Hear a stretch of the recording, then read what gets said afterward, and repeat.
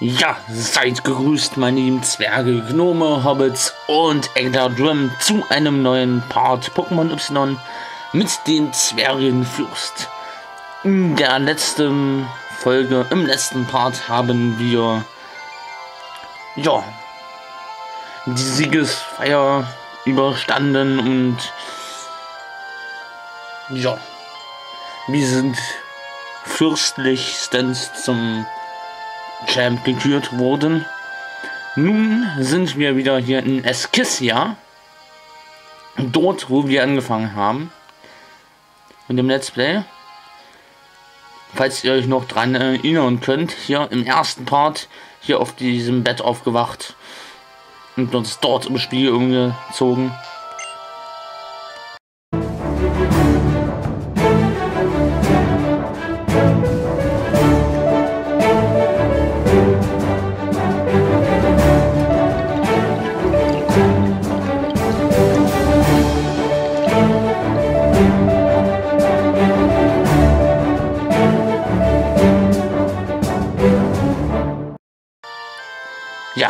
Diesmal kann ich mich nicht umziehen. Ja, betrachten wir nochmal hier diesen Ort des Anfangs, dieses, diesen Ort meines ersten Let's Plays. Hier, wo alles begonnen hat. Heute bin ich ein bisschen erkältet, muss ich ehrlich gesagt sagen. Aber das wird mich hoffentlich nicht allzu sehr vom Let's Play abhalten. Hier steht natürlich die gute alte Wii U-Konsole. Ja. Und dann geht's mal glatt runter. Ja. Zu der Mutter. Irgendwie habe ich gerade ein Déjà-vu. Hm. Let's Play Ben. Ich habe im Fernsehen die Parade gesehen. Professor Platan hat sich echt ins Zeug gelegt. Er hat so viele Leute versammelt. Da fällt mir ein. Ich habe eine Nachricht vom Professor. Er möchte sich mit dir im Bahnhof von Illumina City treffen.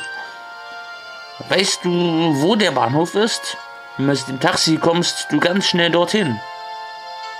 Womit es wohl geht, äh, worum es wohl geht, das hätte er dir doch bei der Parade persönlich sagen können. Was, was, was weiß ich denn, was der Professor so will? Ähm, ja gut. Dann werde ich mich mal aufmachen. Ich war eine Weile weg. Ähm, schön, dich mal wieder zu sehen, Mom. Wie geht's denn dem kleinen Vögelchen hier? Trilli! Okay. Ich weiß nicht mehr, was das für eine Pokémon-Art ist. So. Das Bett meiner Mutter. Bildverschnitt im Fernsehen. Eine Dokumentation über ein Mädchen, das eine Verletzung übersteht und im großen Rennen zusammen mit seinem Rihorn sein Bestes gibt. Oh, Rihorn, da haben wir doch da haben wir doch auch eins vor der Tür, oder? Kann ich darauf reiten? Oh. Hey, Zwergwurst! Die Parade war erste Sahne. Du, sag mal, wirst du mir einen Gefallen tun? Naja, kommt ganz drauf an, was für einen Gefallen, würde ich sagen. Ich hätte nämlich gern eins deiner Pokémon. Was? Also, ähm, eins meiner Top 4 Pokémon, eins meiner Teammitglieder, die mich seit Anfang an, seit Beginn begleitet haben. Vergiss es, meine Liebe. Als Zeichen unserer Freundschaft. Ich gebe dir mein Igamaro das ich in einem Ei gefunden habe und du gibst mir dafür eins deiner Pokémon. Bist du dabei? Nee, komm. Nee. Lass mal gut sein. Also. Ein Level. Ein Level 50 oder ein Level 60 Pokémon gegen ein Level 1 Pokémon aus einem Ei. Also. Vergiss es. Mein geiles Pokémon-Team gebe ich nicht mehr her. Nee. Echt nicht. Na gut, vielleicht einen anderen Mal. Nee, komm, mein Team behalte ich. Mein Team ist geil. Christoph, Lucario, Justin und Jason, die Welte und Let's Play Markus. Ne, die behalte ich lieber bei mir. Davon gebe ich keinen ab. Ja. Tut mir leid. Seiner, aber ist mein Team. Die halten zueinander. Kann ich mal auf die reiten? Nö, scheinbar nicht. So. Wir sind wir wieder im Dorf. Hey, das ist doch ein Toter. Ach, Menno, ich will auch ein eigenes Pokémon. So, geh zu Professor Platan, der hat vielleicht eines für dich. So. Ansonsten geht's mal auf Richtung Illumina City. Ich werde hier mal durchrennen, weil ich möchte euch mal ganz schnell mal nochmal die Wege zeigen, die dorthin führen. So. Nu, Agerwald. Das waren die ersten Parts, in denen wir hier durchgerast sind. Beim Durchlaufen können wir uns mal an die alten Drehs erinnern. Ach, war das eine schöne Zeit. Gut. Jetzt ist mein Pokémon-Team ein bisschen stärker und dürfte sich nicht mehr durch einen Kampf im Gezweig aufhalten lassen. Und mit Safegon. Ja, guck mal. Christoph hier ist Level 66 und Safegon ist Level 4. Ähm, das dürfte keine großartige Gefahr für mich sein. Also, das Problem sind die ganzen Kämpfe, die das, das hier ein bisschen verlängern. Ein Dartiri. So hieß das also. Das wird mein Dartiri. Ja, wusste ich natürlich. So, auf Richtung Illumina City. Die haben wir natürlich alle schon besiegt, die Trainer hier. Vor langer, langer Zeit. Und auch ein Sodamak Level 4 brauchen wir nicht mehr. Das brauchen wir nicht mehr zu fangen. Das hätten wir damals tun können. Aber jetzt nun nicht mehr. Gut, weiter geht's. Der OWR-Weg. Oha, da haben wir noch nicht gegen gekämpft. Oh Mann. Na gut, dann machen wir verplatzt jetzt Platz. Ist zwar ein bisschen unfair. Ich Champ gegen den kleinen Schüler. Das ist ein bisschen das kleine Kitty. Ein bisschen dolle unfair, aber na gut. Hab ich gesagt.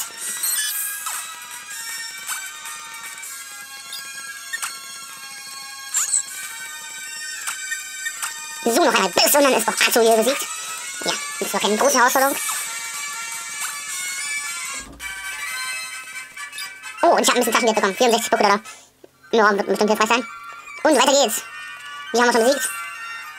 Nun Varia City. Und weiter nach Illumina City. Parterreweg. Naja, das kriegen wir auch noch hin. Ein Knospi. Na ja, ähm. Wenn das nicht leicht ist. Einmal noch schnell mal tot reißen. Die Knospe verkaut. Gut. Ich weiß, es ist nicht üblich, dass, dass man ähm, die Wege nochmal nimmt. Das ist ein bisschen unüblich, aber gut, ich wollte es einfach nochmal zeigen. Das ist. Jetzt müssen wir, glaube ich, auch da sein. Ja. Genau, Illuminacity, da sind wir. Und ab geht's zum Bahnhof.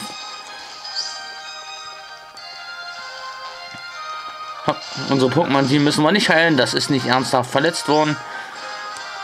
Und ich weiß sogar, wo der Bahnhof ist. Ich brauche kein Taxi. Kann ich einfach hinrasen. Das dauert bloß ein bisschen, weil ja der Bahnhof ein bisschen entfernt ist. Den habe ich doch gleich gesehen, dass es es hat ein bisschen gedauert, um dort anzukommen, aber jetzt sind wir da. Kein Schritt weiter. Haha, ich bitte um Verzeihung, dass wir dir auch immer so einen Schrecken einjagen müssen. Wir wollten dir eigentlich nur etwas überbringen, was der Professor neulich vergessen hatte. Ähm, der Professor steht dort hinten, der kann es mir selbst übergeben, aber ja. Dein Pokédex wurde ja bereits um den Zentral den Küsten und den Gebirgsbereich in, von Carlos erweitert. Doch abseits des, dieser Bereiche gibt es noch weitaus mehr Pokémon zu entdecken. Und aus diesem Grund erlauben wir uns, deinen Pokédex entsprechend auszurüsten. Dem Pokédex von Let's Play Man wurde der nationale Pokédex hinzugefügt. Im Pokédex-Menü kannst du jetzt auch den nationalen Pokédex auswählen. Tippe ihn einfach mal an, um ihn auszuprobieren. Genieße die Zeit, die du gemeinsam mit deinem Pokémon verbringen kannst, denn sie ist so kostbar und hart erkämpft. Gut, vielen Dank für die kleine Erweiterung meines Pokédex. Jetzt muss ich aber mit Professor Platan reden. Glückwunsch, das war eine tolle Parade, Let's Ben. Der Grund, weshalb ich dich hierher gebeten habe, ist das hier. Tada! Dauerfahrkarte nach Batika City. Sag bloß, du kennst Batika City nicht. Die im Süden der Kratos-Region gelegene Stadt Batika City ist der ideale Ort, um sich ein paar Muskeln anzutrainieren. Na, was zögerst du noch? Der Hochgeschwindigkeitszug wartet schon auf dich. Netzwellman erhält das TMV-Pass. Genau, das TMV-Pass. TMV-Pass wurde in der Basis-Items-Tasche verstaut. Dann will ich dir mal rasch das Nötigste zum TMV, also dem Train Air Mega Returns oder auch Hochgeschwindigkeitszug erklären. Nennen wir es einfach ICE. Ähm, das ist auch ein guter Name dafür. Begib dich zum TMV-Station und suche einen der orangen Fahrkartenschalter auf dem Bahnsteig, um deine Fahrkarte zu scannen. Jetzt aber nichts wie los. Ich wünsche dir viel Spaß. Wünsche ich dir auch, Professor Platan, bei was auch immer du gerade so vorhast. Gut. Das ist ein Fahrkartenscanner des TMV. Möchtest du deine Karte scannen und in den TMV einsteigen? Ja, das möchte ich. Deine Fahrkarte wurde gescannt.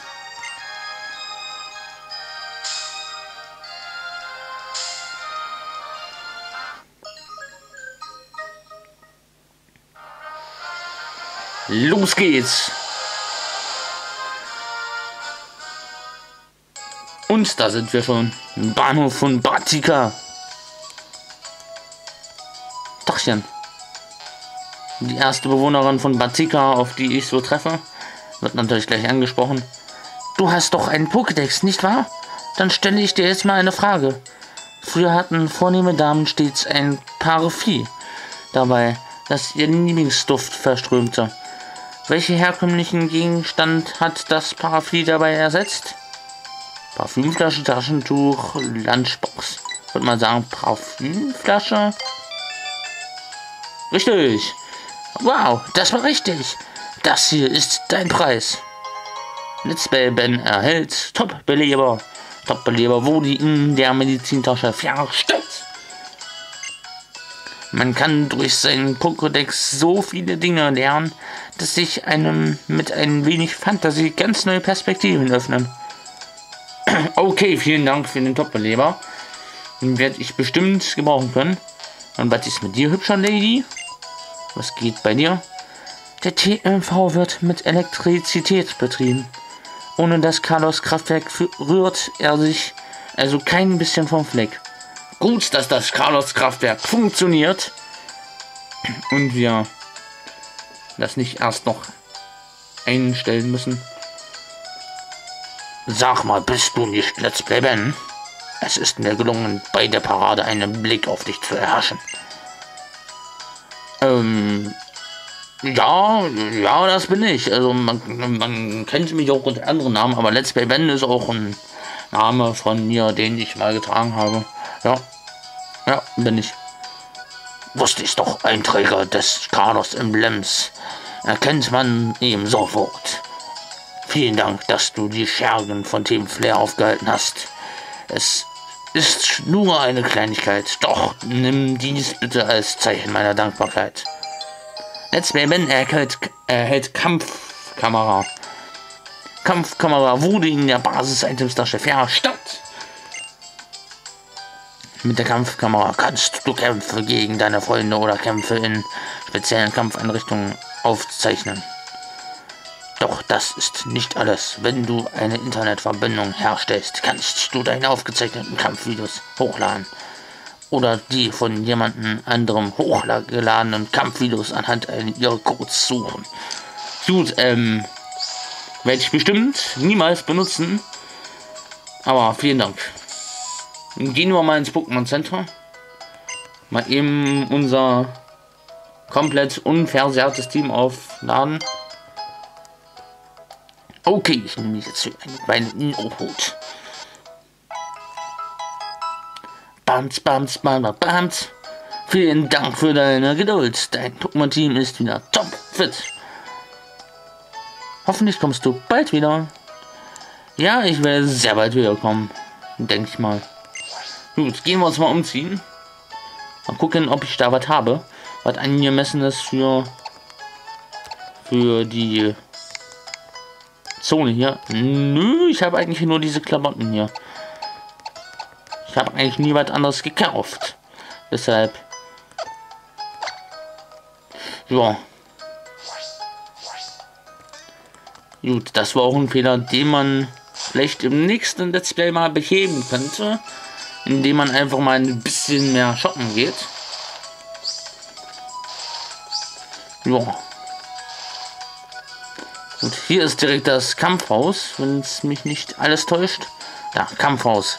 Hier haben vier kokette Schwestern das Sagen. Okay. Da werden wir gleich mal hingehen. Ich hole mir noch dieses Item hier. Netzbaben ist das Item Nugget. Und Nugget wurde nah. Itemstasche verstoppt. Gut. Was geht hier? Kontaktsafari. Freundescodes werden deinem Horizont erweitert. Okay, ähm, ja, ich bin gerade nicht so kontaktfreudig, deshalb, ja, bin ein bisschen erkältet, deshalb gucke ich mir mal diesen etwas sinnlosen See hier oben an. Eine hübsche Area zum Entspannen. Gut, dann würde ich mal sagen, auf geht's in ja, ins Kampfhaus. Dort müssen wir erstmal ein paar Kämpfe bestreiten. Genau gesagt einen. Man kann auch noch einen zweiten machen, wenn man will. Man braucht nur einen um ja, auf den Rivalen zu treffen, habe ich mich mal erkundigt. Hallo und willkommen bei der Gewinntauschbörse. Möchtest du Gewinnpunkte gegen Preise eintauschen? Nein, ich habe keine Gewinnpunkte. Nee, ich habe immer noch keine Gewinnpunkte.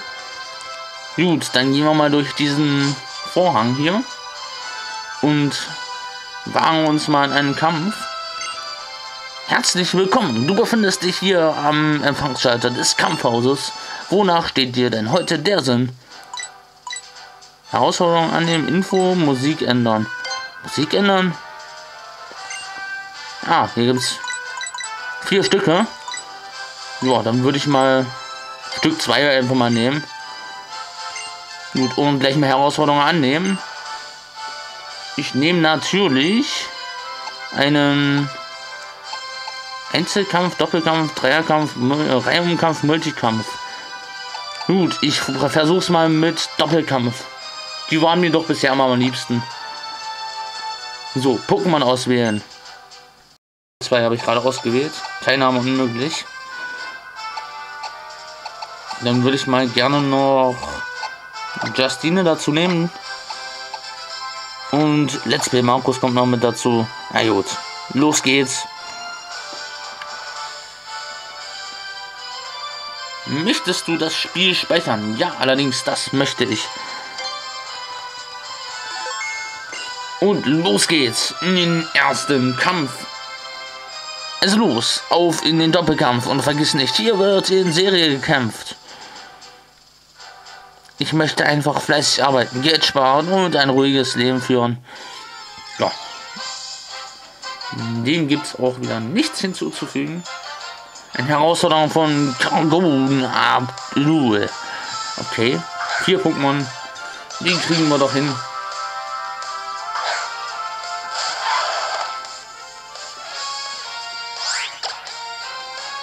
Würde ich mal sagen, Mega-Entwicklung und Hydropumpe auf 5. Lucario kann demnach jetzt keine Mega-Entwicklung mehr einsetzen, aber Aura-Sphäre auf Tanza. Und alle Level 50, das ist eine gewisse Einschränkung, die wurde dabei eingestellt.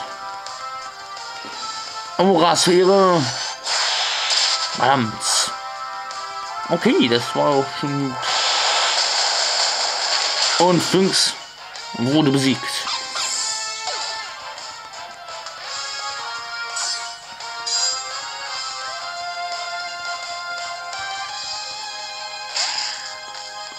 Koknodon. Gut. Dann würde ich mal sagen, setz mal Surfer auf alle ein und du setzt mal Drachenpuls auf Tanz ein.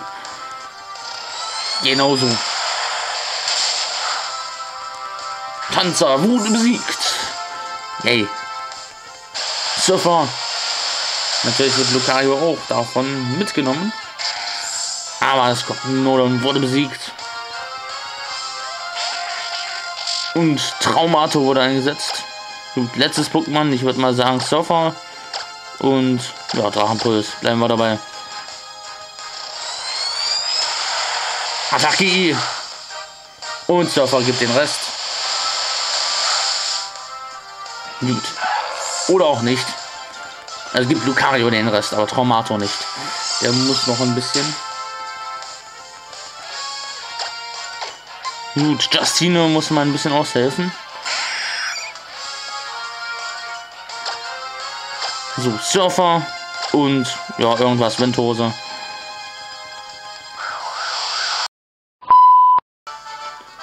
Oh man, was ist denn heute mit meiner Speicherkarte los? Zu wenig Speicherplatz oder was?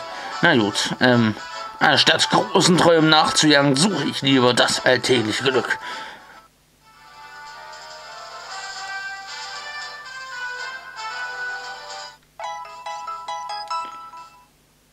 Pokémon Team Guide.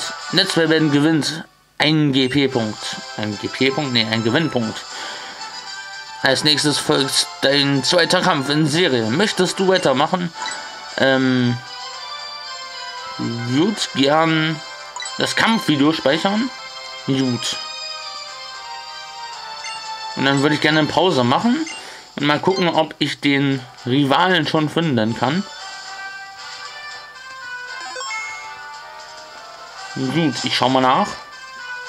Dann muss ich vielleicht keinen zweiten Kampf machen, um den Rivalen zu finden. Dann können wir gleich im nächsten Part gegen den Rivalen antreten. Würde ich mal sagen. Und ja, da steht Rivale Serena schon. Und die besiegen wir gleich im nächsten Part, würde ich sagen. Dann habt noch eine angenehme fürstliche Zeit. Ja, bis denne und ciao, ciao, adios. Bis zum nächsten Mal, wenn es wieder heißt Pokémon Y mit dem Zwergenfürst hier im Kampf gegen Serena. Ja, gebt diesem Video einen Daumen hoch, sollte es euch gefallen haben. Abonniert meinen Channel, falls ihr noch kein Abonnent meines Channels seid. Ja, und ja, kein weiteres Pokémon Y Video verpassen wollt. Ja, macht's gut.